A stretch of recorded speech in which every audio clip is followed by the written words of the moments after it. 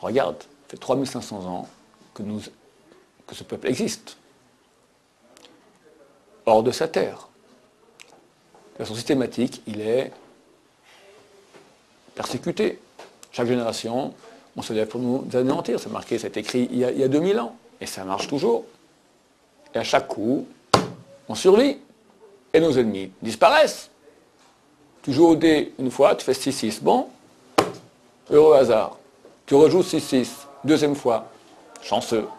Troisième fois, quatrième, cinquième, sixième 6-6, tu dirais, oh, 56-6, truqué. Comment ce petit peuple, chaque fois, tous les 20 ans en moyenne, tu as une super puissance qui se lève, on va anéantir ce peuple. En moyenne, chaque génération. Là, il y a un, il y a six mois, il s'est levé. Ahmadinejad, Mahmoud. Mahmoud Ahmadinejad. Ben, ben, ils disent quoi Maboul, on se croirait, je sais pas, du temps de Haman. Tu me dis, mais c'est pas nouveau. Et Arafat, et Nasser, et Staline, et Hitler, et avant Hitler, les bolcheviks, avant les bolcheviks, les tsars, avant les tsars, les cosaques, avant les cosaques. 15 expulsions forcées en Europe entre 1000 et 1500, entre l'an 1000 et l'an 1500. Et avant les Byzantins, et les Mamelucs, et, quand pas Quand pas Tu vois ça sur 3500 ans. À tous les coups, nous on ressort. Et eux, tous nos amis, patatras. C'est truqué. De plus, nous sommes un peuple qui a 3500 ans. Contrairement à ce que je pense, tous les peuples du monde. Aucun peuple aujourd'hui a aussi vieux. Nous, hors de nos terres, alors que de façon rationnelle, c'est impossible une chose pareille. Les historiens disent qu'un peuple hors de sa terre, en quelques générations, disparaît. Trois, quatre siècles maximum. Ça, mille. Nous, on est là? Nos ancêtres, les Gaulois. Nos ancêtres sont-ils les Gaulois? Mensonge. La Gaule a été conquise par les Francs. C'était des Tartares, des barbares qui venaient de- des Indo-Européens. C'est pas nos ancêtres. Est-ce que le français actuel est le même français qu'il y a 1000 ans? Rien à voir. Comment on sait? Rachid a traduit plus de 2000 mots dans le Talmud. Traduit en français. Alors une fois sur deux, on comprend. Une fois sur deux, on comprend rien du tout. C'était une autre langue. Les Romains. L'Italien d'aujourd'hui, ce sont les Romains d'antan. Est-ce que c'est la même culture? La même religion? La même langue? Rien à voir. Les Grecs? Rien à voir. Égyptiens? Rien à voir. Perses? Rien à voir. Chinois Non plus. Aujourd'hui, c'est... plus, c'est plus Mao. C'était Mao il y a 50 ans. Maintenant, c'est occidentalisé, déjà. Ben, ils sont chrétiens peut-être, je, ne sais pas. Nous, le même peuple. Demain, Moshe Rabbeinu se lève, Maïmonide, Rabbi Shimon Bar Rabbi Akiva. Hein On va à la synagogue ensemble, le Shabbat, les mêmes lois, rien n'a changé. On lit les mêmes textes. On lit les mêmes textes. La même Torah, Rashi. Ah, viens, tiens, explique-moi ce que tu as marqué ici. Moshe, ah, ben, voilà. Maïmonide, ah, ben, tiens, ça- trois heures que je bosse sur ce passage. Je suis avec toi tous les jours. Un peuple qui ne change pas. Explique-moi ça rationnellement. J'ai des textes de Goïm qui disent c'est complètement phénoménal. Léon Tolstoï, M- Mark Twain.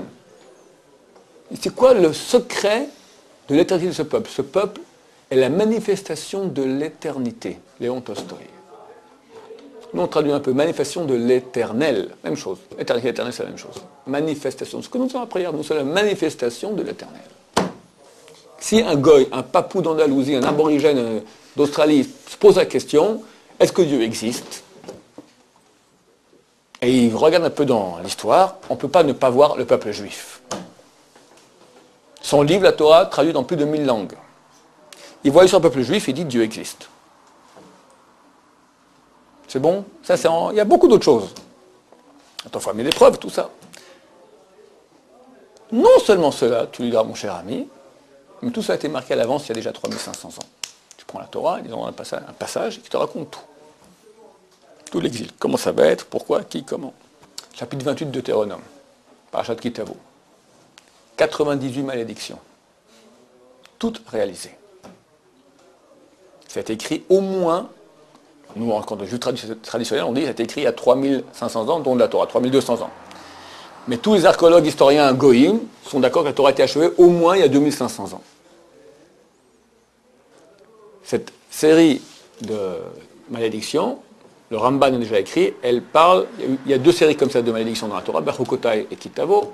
Berchukotai parle du premier exil, perpétré par Nabucodonosor en moins 586, destruction du temple et déportation des Juifs en Babylonie. Deuxième exil, en 70 de l'ère chrétienne, Titus Vespasien vient détruire le temple de Jérusalem et exil jusqu'à aujourd'hui. Ce deuxième exil, il a été prophétisé dans Deutéronome 28. Alors, tu as beaucoup de prophéties qui, aujourd'hui, on ne peut pas très bien. Tu seras frappé de lèpre, euh, de peste, de famine. Bon, il y a eu. Ça, ça, on peut encore imaginer, mais des choses beaucoup plus précises. Tu n'auras pas de repos pour la plante de ton pied. Sans cesse en train d'être en vadrouille, en errance d'un pays à l'autre. Demande aujourd'hui à n'importe quelle communauté, juive dans le monde, combien de temps vous habitez votre pays actuel de résidence? En France, je fais chaque séminaire. On a 2, 3 sur 100 personnes qui habitent la France depuis plus de 50 ans.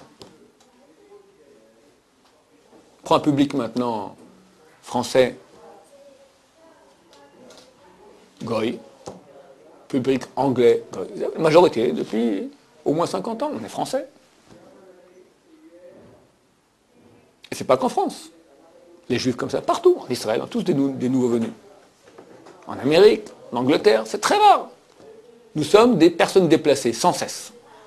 Sans cesse. Il n'y a pas, durant l'histoire, sans cesse, il n'y a pas de juif qui n'a pas fait dans son histoire des 2000 ans au moins 10 pays. Au moins 10 pays. Quel autre peuple a une histoire pareille? Ça a été annoncé, prophétisé, il y a au moins 2300 ans. 400 ans avant qu'on parte en exil.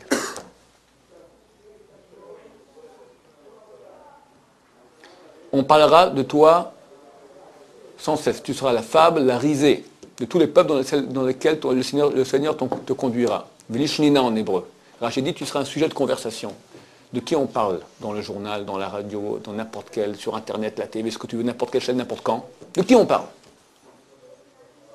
On représente un quart de pourcent du monde. 1 sur 400. Est-ce qu'on parle des Uruguayens dans le journal? Ils sont plus que nous. Est-ce qu'on parle des Paraguayens dans le journal? Ils sont plus que nous aussi. Qui est l'un au-dessus de l'autre? L'Uruguay ou le Paraguay? Hein, qui sont, on ne même pas. Hein? Les Chinois et les Hindous, mais encore le Pakistan avec eux, l'Indonésie, c'est plus de la moitié du monde. On parle de, ouais, à peine. 50 000 morts dans une, une inondation dans la province de Changwei. Bon, ok, carré dans le journal. On a détruit la maison d'un Palestinien dans un territoire. Le monde se met à trembler pas normal. Pas de relation de proportionnelle, c'est pas normal. Et c'est pas nouveau. C'est pas nouveau. Tu n'as aucun sujet, et je le dis, les gens n'arrivent pas à imaginer, il n'y a aucun sujet dans le monde sur lequel on a autant parlé que les juifs. Tu prends tout ce que tu la littérature du monde, il n'y a rien, rien de plus. Tu prends l'histoire de l'Occident, ce qu'ils ont écrit, tu as tellement, tellement, tellement de textes antisémites, je parle les deux, 2000 ans qui, qui ont passé. Inimaginable. Ah, lâche ma jambe. C'est pas normal. Je dis aux gens, ouvrez ce soir les nouvelles. Je vous garantis, moi je une prophétie des fois. Hein. ce soir, on parlera des juifs à la télé. Que ce soit Israël, l'antisémitisme, le lobbying juif en Amérique, n'importe quoi n'importe la chose, n'importe quoi, on parlera des juifs. C'est pas normal. Complètement absurde. Quelqu'un aurait-il pu, un être humain aurait-il pu prévoir il y a 2300 ans, alors qu'on vit tranquillement sur nos terres ici en Israël, on parlera de toi sans cesse. Pourquoi? Absolument irrationnel de prévoir une chose pareille. C'est marqué. D'où il savait, le type qui a écrit ça? D'où il savait Même aujourd'hui, c'est complètement irrationnel. À l'avance de savoir, il y a 2300 ans, je t'en ai fait deux comme ça. Il y en a au moins 15 de prophéties qui sont irrationnelles comme ça. qui restera un petit nombre. Bon, ça beaucoup. On va s'arrêter ici. L'homme